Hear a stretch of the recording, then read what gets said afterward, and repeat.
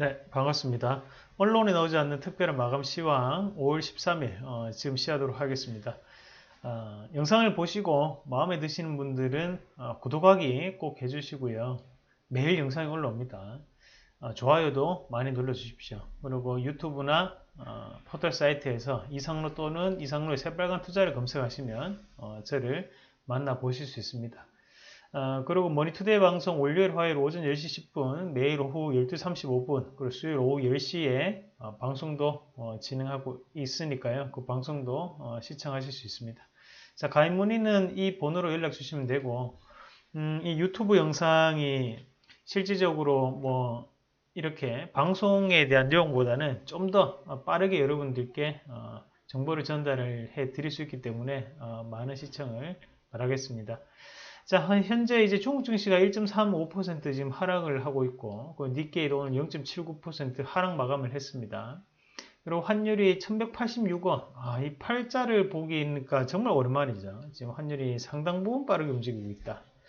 지금 1160원대 이후로 어, 지금 상당히 지금 환율 자체가 급변하고 있는 양상인데 어, 실질적으로 이제 1130원, 어, 1130원 이후에 이제 쉬지 않고 이 1130원대를 지지를 이렇게 보이다가 지금 갑작스럽게 튀어서 올라가는 양상이거든요.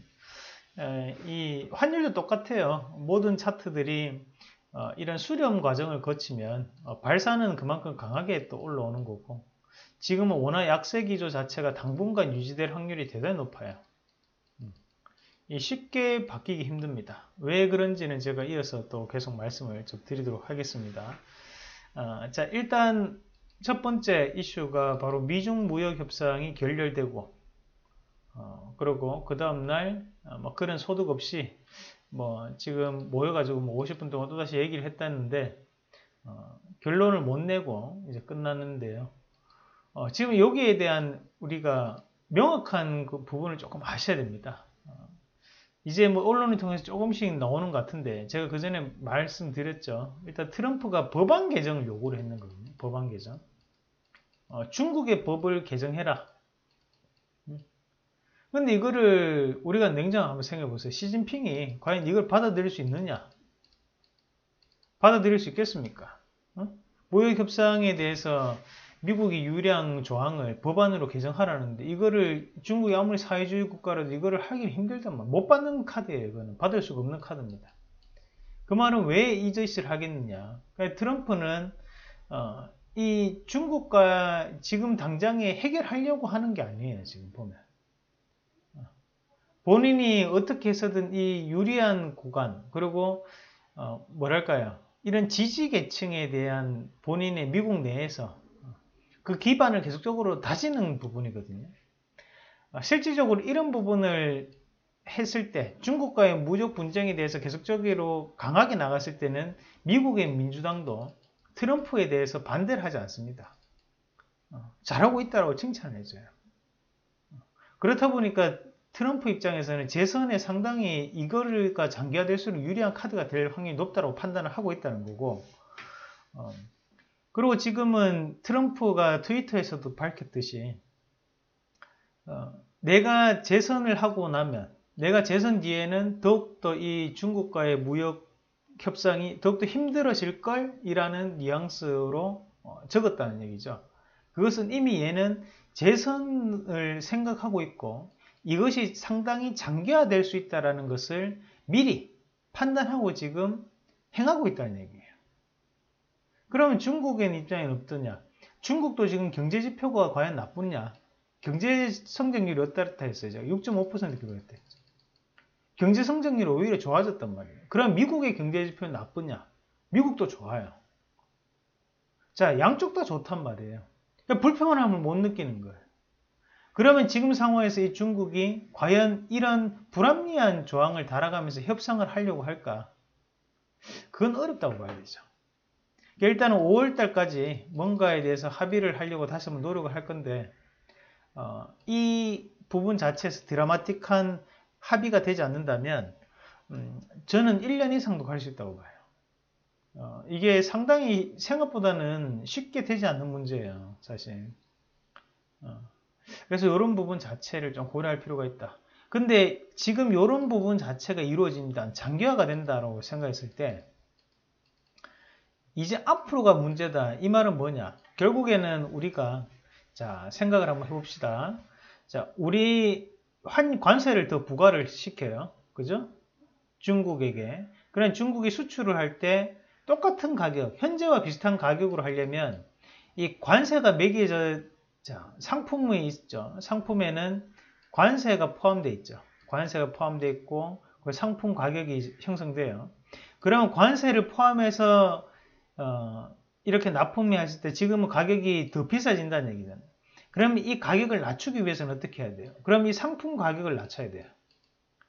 상품 가격을 낮추기에 가장 유리한 부분은 뭘까요? 결국에는 어, 상대국과의 무역을 할 때 이 상품 가격을 낮추는 효과를 나타낼 수 있는 가장 쉬운 방법 바로 환율이에요. 그럼 이게 25% 유지가 된다고 보면 중국은 위안화 절하를 할 확률이 높습니다. 절하. 평가를 낮춘다는 얘기. 상대적으로 달러화는 어떻게 됩니까? 달러화는 달러화는 강세가 되겠죠.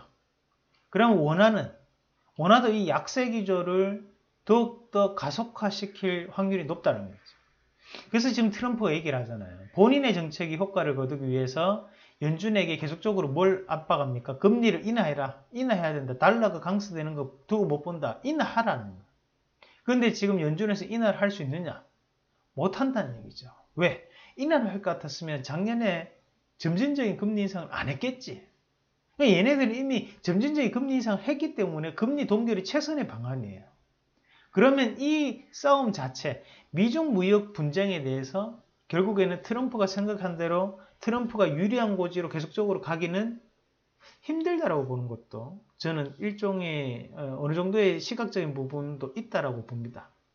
어, 지금은 어, 트럼프가 상당히 유리한 측면으로 거의 뭐 중국이 케어패를 당하는 부분 뉘앙스로 나오고 있지만 조금씩 바뀔 수 있다는 거예요. 이게 장기화가 되는 것을 환영할 일만은 아니라는 거죠. 그럼 우리나라가 지금 여기에 대해서 타격을 입는 부분은 왜 타격을 입고 있느냐? 자, 결국에는 자, 지금 우리나라는 중간재를 납품한 업체예요. 네. 이걸 어디로 납품합니까? 이거를 중국으로 납품합니다. 중국은 어떻게? 이걸 다시 한번 되팔죠, 미국에. 그러면 이걸 되팔아야 되는데 아까 얘기했죠. 완성품에 대한 가격을 낮춰야 된단 말이에요. 왜냐 관세가 올라갔으니까 지금과 똑같은 어, 가격으로 팔려면 완성품에 대한 가격을 낮춰야 돼요. 그러면 거기에 대한 압박을 누구한테 해야 돼요? 우리처럼 이렇게 중간재를 납품하는 업체에 대해서 압박을 해야겠죠. 그러면 우리는 이 중간재 납품하고 있기 때문에 그 가격적인 압박을 받게 되면 결국에는 어, 영업이 우리가 흔히 얘기하는 마진이 줄어드는 구조입니다. 이 부분 자체가 국내에 대해서 체감적인 경기에 대해서 큰 영향을 미치지는 않아요. 뭐 지금 분석이 나왔는데 뭐 1.4%인가 0.14%가 뭐 그렇게 나오던데 하지만 어, 주식이라는 것은 기대감과 우려감에 대해서 반영이 되는 거거든요. 그럼 여기에 따른 우려감은 어, 수치적인 부분은 작지만 거기에 대한 표면적으로 느끼는 체감적인 어, 하락세는 상당히 뚜렷하게 나타날 수 있다. 그러면 지금까지 현재 시장을 이끌어왔던 이런 대형주라든지 아니면 블루칩이라 이런 쪽 자체가 어, 앞으로 꾸준하게 그렇게 성장한다라고 보기는 조금 어려울 수 있다. 과도기적인 성격 자체가 상당히 강해질 것이다. 이런 시장의 분위기를 우리가 먼저 조금 읽으실 필요가 있습니다. 어, 지난주에는 사실 그냥 뭐 비성적으로 조금 투매 단계가 조금 거쳤어요. 뭐 그냥 시장이 지금 미중 무역 협상에 대한 결렬, 아, 결렬되면 어떡하냐 하면서 그냥 그에 빠졌다 보는 거죠. 음. 하지만 지금은 그게 아니라는 거예요. 이번 주, 그리고 다음 주는 좀 더 냉정해질 거거든요. 그러니까 오늘도 장 초반에는 반등이 좀 났죠. 시장이 조금 냉정함을 찾아간다는 얘기예요. 그러면서 이번 주는 계속적으로 이렇게 뭐 올랐다 빠졌다 올랐다 빠졌다 이런 것들이 반복할 확률이 높습니다. 아직 시장의 방향을 잡지를 못하는 거예요. 하방이 어딘지를 아직 테스트를 못 한다는 거죠. 제가 일단 얘기했던 포인트까지 다 내려왔어요. 지금 자리에서 뭔가를 고르겠죠. 아, 우리가 이 정도 빠질 건가? 좀 오버스럽게 빠진 거 아닌가? 이런 부분에 대한 판단을 하게 됩니다. 그런 판단 이후에 시장 자체가 방향성을 가질 수 있어요. 대신 앞에서 얘기했던 어, 미중 무역 협상이라는 이 폭탄이 앞으로 어떤 나비 효과를 어, 이룰 수 있을지 제가 얘기했던 것을 꼭 귀담아 생각을 하시면서 어, 기억을 하고 계셔야 됩니다. 자, 정리를 한번 해드릴게요. 미중 무역 협상이 결렬되는 원인, 원인은 뭐예요? 결국에는 미국이 어, 바로 법안을 개정을 요구했기 때문에 그걸 중국이 받아들일 수 있냐? 없다. 그러면 이 부분 자체는 장기화될 여지가 상당히 높다.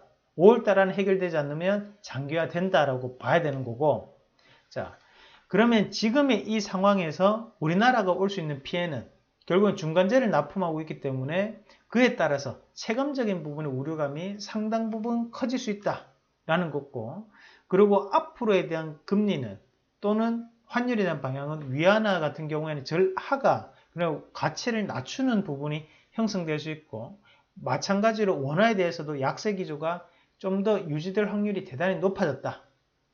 그럼 미국은 금리 동결이 계속적으로 유지가 된다면 앞의 과정 자체가 성립한다는 것을 전제로 한다라는 부분으로 해석할 수 있겠습니다. 여기에 대한 변수가 한 가지 있다면 미국이 미친 척하고 금리 인하를 한다.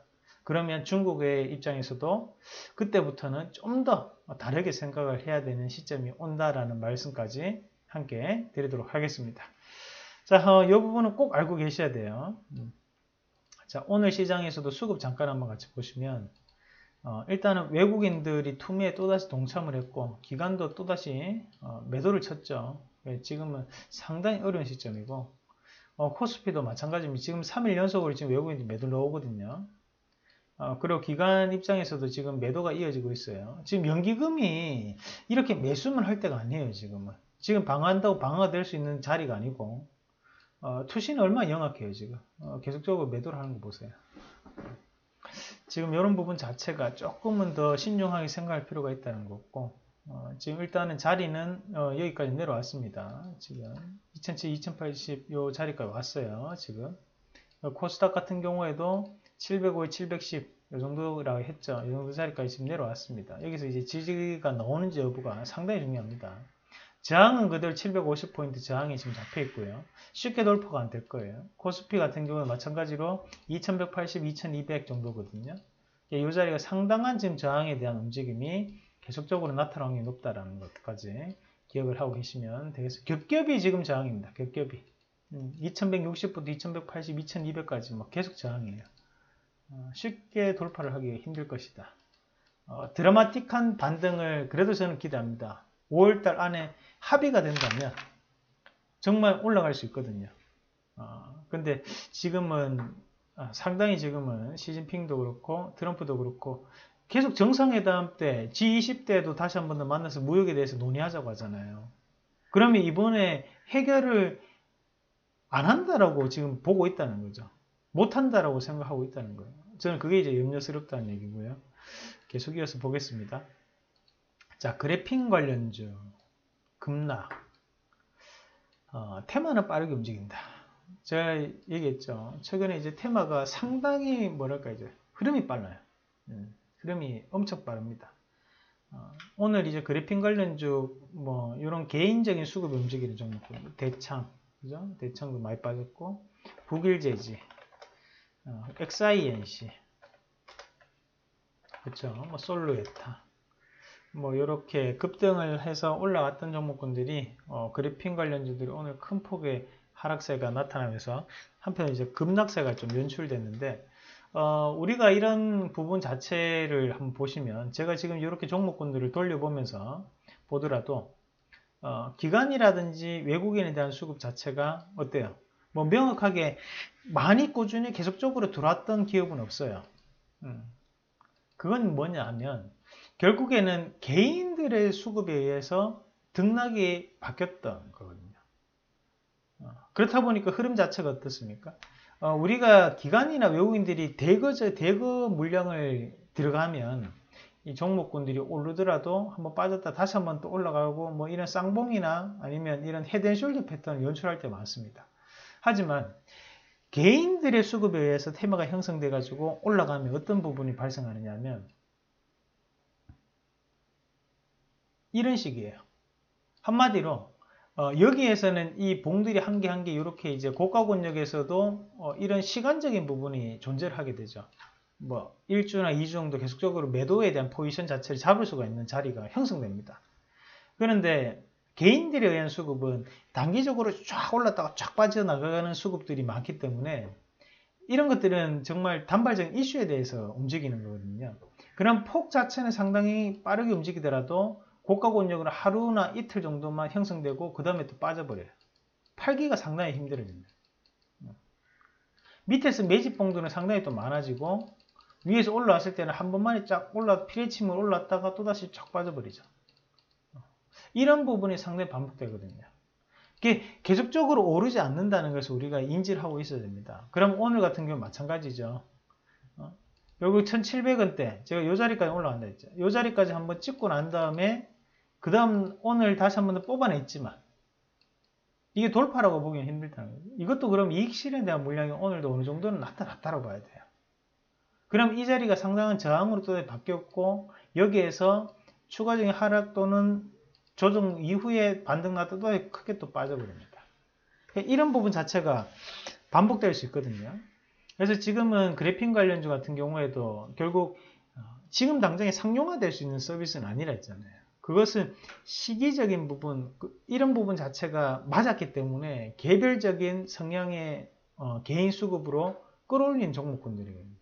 근데 여기에 대해서 조정이 나오면서 오늘 또 어떤 종목군들이 올랐습니까? 이런 개인적인 수급이 어디로 옮겨졌어요? 암호화폐로 넘어갔어요. 암호화폐가. 자, 오늘 암호화폐로 넘어가면서 우리 기술 투자가 같이 보겠습니다. 자, 이 종목군이 오늘 뉴스를 보세요. 비트코인 급등의 암호화폐주 강세. 어, 이게 5월 13일 오늘입니다. 근데 오늘 비트코인이 급등을 했느냐? 자, 볼게요. 자, 가격을 자, 비썸 사이트를 통해서 자, 어떻습니까? 오늘 급등했어요? 아니면 최근에 계속 올랐습니까? 최근에 보세요. 5월 3일부터 5월 4, 5월 5일부터 뭐 계속 하루 계속 올랐습니다. 최근에 계속적으로 이렇게 올라왔다. 650만 원에서 850만 원까지 이렇게 계속적으로 올라왔단 말이에요. 오늘 급등한 게 아니거든요. 그냥 이렇게 계속 움직여 왔단 말이에요. 어. 근데 왜 지금 시장이 반영이 될까? 어. 결국에는 시장에 대한 수급적인 분위기 그리고 선매수가 있었다는 거예요. 여기서 안 빠지고 여기서 계속적으로 여기서 저항을 움직이다가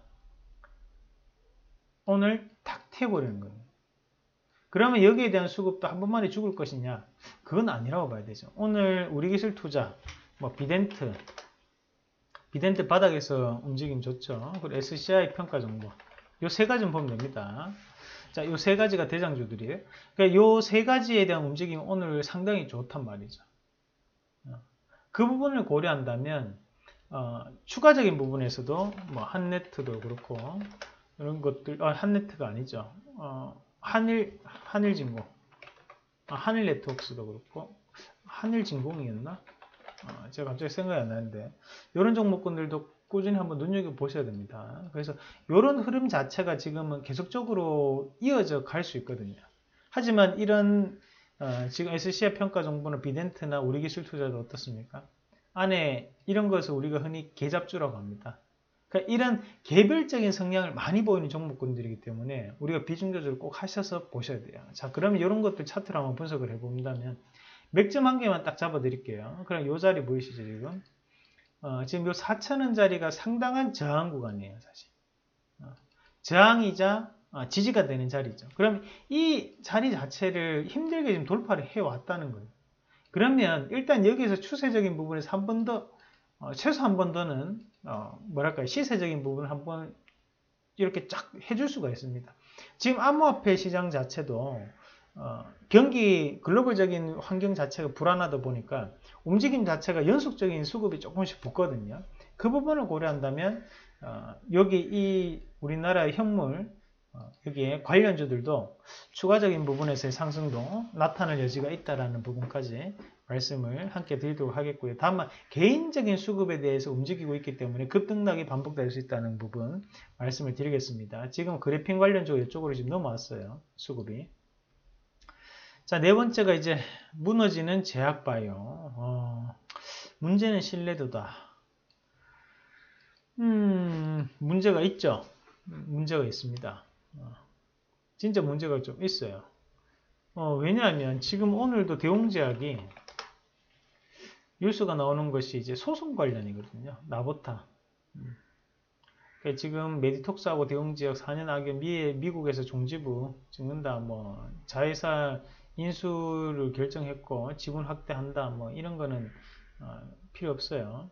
나보타 관련 미국 소송 본격화에 지금 급락했다는 건데, 어, 그리고 최근에 이제 삼성바이오로직스 어, 서버를 땅에 묻어가지고 그게 이제 들켜가지고 지금 구속이 되느니 마느니 뭐 했다가 구속됐다는 얘기도 있고 어, 움직이는데요. 어, 신뢰도의 문제라는 거예요. 어, 우리가 이제 주식은 어, 이게 부동산은 어떻습니까? 어, 건물이나 땅이나 부동산은 아파트도 그렇고 다 눈에 보입니다. 언제나 그 자리에 가면 내 거를 내가 볼 수가 있어요. 그런데 주식이라는 것은 물론 내한테 인터넷 계좌로 볼 수 있지만 그게 현실로 현실 시장에서 이거를 보기가 힘들어요. 내가 이 삼성바이오로직스, 삼성전자에 대한 주식 대주주라고 하더라도 실질적으로 내가 백화점 가가지고 아 내가 삼성전자 대주주인데요. 어? 나에 대한 권리를 주세요. 할인도 해주세요. 먹힙니까? 아니 미친놈 맞네 이렇게 생각하지. 안 된다는 얘기예요. 말 그대로 주식 시장에서는 어, 우리가 도덕성을 기반으로 해야 되거든요. 우리가 이 사람들을 믿고 인터넷상에서 투자를 하는 거, 객장에 투자를 하는 거잖아요. 근데 지금은 이런 바이오 제약 업종은 계속적으로 이런 신뢰도가 상당 부분 떨어집니다. 어, 제가 이거를 연초부터 계속 얘기를 했던 게 바로 이 부분이 신뢰가 있어야 되거든요. 근데 믿지 못하는 부분 자체가 계속적으로 발생을 하다 보니까 투자 심리가 위축되는 거예요, 계속. 작은 악재에도 지금 시장은 상당히 민감하게 반응하는 시장인데, 지금 제약바이오는 그게 더욱더 민감하게 반응을 하고 있다는 거예요. 지금 삼성바이오로직스 같은 경우에도 결국에는 이 자리 자체를 지지해주기 상당히 어렵거든요, 지금. 왜냐하면 어, 이 부분 자체 지금 계속적인 수사가 들어가고 있는 상황에서 어떤 결론 날지를 모르는데 뉴스를 조금만 보는 우리 개인 투자자분들이라도 이걸 지금 사라. 쉽게 손이 나가겠어요. 아이 그래 반등 한번 봐야 되는 거 아닐까? 바닥을 한번 확인해 봐야지. 이 생각부터 든단 말이에요. 대웅제약도 지금 소송 걸렸다. 그 소송이 어떻게 풀릴지 모른다. 근데 지금 이 자리에서 다시 한번 드라마티가 이렇게 한번 꺾어서 올라가는 것을 알고 여기서 한번 사볼까? 쉽게 손이 안 나간다는 거예요. 쉽게. 올라오면 모를까. 자, 마찬가지로 최근에 뭐, 뭐 있어요? 코오롱 생명과학 이런 것들도 어떻게 해결될지 안 될지 모르는 상황이 반등은 약하다는 거죠. 반등 약하고 이제 빠지는 폭은 크다는 거예요. 물론 이것도 한번 반등 나올 수는 있습니다. 이런 반등이 저는 나올 거라 봐요. 다만 이 반등이 나오기 전에 중요한 것은 바닥이 어딘지를 바닥을 다져줘야 된다. 근데 지금 바닥이 어딘지를 모른다는 얘기예요. 그러니까 지하 이게 지하 1층인지 지하 5층인지 아니면 이게 지하 10층까지 내려갈 수 있는지 모른다는 얘기예요. 그렇다 보니까 투자 심리가 상당 부분 위축돼 버리거든요. 주식이라는 건 투자 심리가 긍정적으로 돌아서야지 올라갈 수가 있어요. 꿈을 가지고 있어야 되는데 우리가 제약바이오를 생각을 해버리면 지금은 꿈보다는 또 뭘로 또 뻥을 치려고 뭘로 또 야, 뉴스만 너무 불안해 야또 연기되는 거 아니야? 야, 씨, 100, 400 또 연기되는 거 아니야? 이런 생각을 하게 된다는 겁니다. 저도 물론 제약바이오에 대해서 희망을 가지고 있고, 저도 개인적으로 보유하고 있는 게 있어요. 하지만 그것과 분석은 별개라는 거거든요. 지금 이 시장 자체에서 올라가줘야 되는 그런 모멘텀 자체가 부족하다는 것은 사실이라는 겁니다. 어, 그 부분 자체에서 지금 시장에서의 제약바이오는 어, 상당히 지금은 어, 조금은 문제가 생길 수밖에 없는 구조다. 그래서 지금 신뢰도에 대한 부분에 제가 꾸준히 언급을 하면서 어, 차라리 우리나라 그 임상 지원을 하는 기업들에 다시 한번 보자라고 말씀드렸던 것도 그런 신뢰도적인 측면 때문이었어요. 그래서 지금은 이런 제약바이오에 대해서 우리가 조금은 좀 더 조심스러운 부분으로 관망에 대한 시각으로 좀 대응할 필요가 있다는 것도 기억을 하고 계실 필요가 있겠습니다. 자, 그리고 다섯 번째가 이제 선방하는 5G. 기대감을 안고 달린다. 어, 5G가 생각보다 상당히 강합니다. 제가 뭐라고 했습니까? 어, 혁신, 그러니까 메가 트렌드의 일종이라 했죠. 지금 보시면 오늘 머큐리가 올라갔는데 머큐리의 엄마가 누구예요? 아이즈비전이죠. 아이즈비전은 알뜰폰하고 같이 하는 업체죠. 오늘 점상까지 갔는데 뭐 이거는 사기가 힘들고 지금 그러나 이제 머큐리라는 기업도 지금 다시 한번 오르는 모습이 나타났거든요. 그러니까 이런 부분 자체에서 우리가 고려를 한번 해봐야 되는 것은 오늘 이거는 조금 오버해서 올라왔다 쳐. 그렇더라도 에이스테크 그때 또 신고 갔죠. 서진 시스템, 음? 그리고 RH, RF, HIC, 뭐 유비코스 마찬가지고요. 이런 종목군들에 대한 움직임이 계속적으로 지금 시장에 비해서 긍정적으로 나타나고 있다는 겁니다. 하지만 제가 5G라는 것에만 멈추면 안 된다 했죠. 그리고 5G가 된다는 것은 뒷다리를 봐야 돼요. 파생될 수 있는 거. 자율주행이 된다는 얘기고요. 사물 인터넷이 된다는 얘기고 공장 자동화가 된다는 얘기고 또 뭐예요? 어? 인공지능이 된다는 얘기고 로봇이 된다는 얘기입니다. 그러니까 이런 부분까지도 우리가 같이 알고 시장을 바라봐야 돼요. 그렇다 보니까 이 5G가 죽어 반대로 5G 죽어버리면 이것도 죽고 이것도 죽고 이것도 죽고 이것도 죽고 이것도 죽어요. 그냥 시장 급락선 나오겠죠. 쉽게 안 죽는단 말이에요. 이것이 꾸준하게 그래도 추세적인 부분에서 올라탈 확률이 대단히 높고 그에 따라서 여기에 있는 종목군들도 계속적인 이슈 메이커가 될 수 있기 때문에 우리가 조금 기억을 하고 계셔야 됩니다. 자, 그러면 이런 5G 뭐 에이스테크도 주가 추이 한번 같이 보시면 자, 오늘 또다시 신고가 갔는데 어, 지금 8점, 아, 오늘 신고가는 아니 신고가 근처까지 올라가다가 지금 뻗었는데 음, 뽑아내줄 거라 저는 봅니다. 뽑아내줄 거라고 봐요. 이것뿐만이 아니라 뭐 이노와이어리스라든지 이제 이런 기업들 지금 요거는 이제 어, 뭐였죠? 그 보안 및 계측 계측한 업체인데요. 어, 이런 것도 원스텝 기업이거든요. 이런 거나 오이 솔루션 너무 많이 올랐고 어, 이런 것들도 계속적으로 이제 가주는 그런 형상이 나타나고 있습니다. 그러니까 이 오이 솔루션 광 트랜시버 관련 업체죠. 그래서 거기에 따른 지금 어, 효과를 보고 있다. 5G에 대한 효과를 꾸준하게 보고 있는 업체들이 많습니다. 음, 그러니까 지금 시장이 안 좋다 보니까 한번 들어올렸던 기업들에 대해서 수급이 계속적으로 작용을 합니다. 뭐 지금 이 자리를 빌어서 이제 KMW 이런 것도 소개를 많이 해드렸는데 이런 것도 마찬가지입니다. 지금 권리락 주고도 지금 계속적으로 이 상승 파동 유지를 해주거든요. 음. 자, 이런 부분에 대해서 신규적인 5G 관련적으로 또 움직일 수 있기 때문에 어, 그런 종목군들도 기억을 하고 공부를 해보시길 바라겠습니다. 자, 여전히 기대감이 상당히 높다는 걸 기억을 하시고요. 어, 우리가 이런 개별 테마를 보다 보면 기간이 유입이 된 기업들 또는 외국인들 유입이 된 기업이 있고 그렇지 않은 기업들이 있거든요. 근데 지금 시장에서는 조금 덜 먹더라도 기관이나 외국인들 조금이나 유입되어 있는 기업을 선택하는 게 맞아요. 어, 이런 기업들이 사실상 시간이 어, 시장이 갑작스럽게 뭐 크게 하락을 하더라도 기관이나 외국인들이 지켜줄 수 있는 힘이 있거든요. 근데 개인 수급으로 들어왔던 기업들은 무너져 버립니다. 그래서 그런 차이가 좀 발생할 수 있어요. 그걸 조금 기억을 하고 계셔야 됩니다. 그럼 오늘 시장에서 큰 폭의 움직임이 나타났던 것이 어, 그 넥슨, 넥슨 GT. 자, 이거 지난주 수요일부터 제가 계속 주구장창 얘기를 했었습니다. 여기 유튜브를 통해서도, 그걸 방송을 통해서도 말씀을 드렸죠. 넥슨 GT는 네번 말씀드렸어요. 자, 오늘 상황 같고, 오늘 뭐 넷게임즈, 이런 것도 모습이 상당히 좋았죠. 뭐 조이시티, 이런 것도 이제 관련인데, 오늘 반등 났다 뻗어버렸는데, 일단은 지분을 들고 있는 넷게임즈도, 어, 여기 이제 넥슨 코리아에서 지분을 보유하고 있고요. 그쵸? 마찬가지로 지금 넥슨 GT도 어, 지분을 보유하고 있는 업체입니다. 그렇다 보니까 지금 모습이 상당히 좋아요. 그리고 요게 장중에 지금 흔들다가 어, 흔들다가 지금 다시 한 번 더 상한가를 붙였기 때문에 어, 이런 거는 이제 시세를 한번 바꾸려고 하는 거죠. 오늘 1차 차익 실현 나왔어요. 근데 오늘 시- 손이 바뀐 거거든요. 이 정도 거래량 나오면 손이 바뀌었습니다. 한번 얘들이 한번 해먹고 다른 애들이 지금 붙었잖아요. 다른 애들이. 근데 이런 기업들 같은 경우에는 외국인이나 기관 수급이 꾸준하게 그래 존재를 하거든요.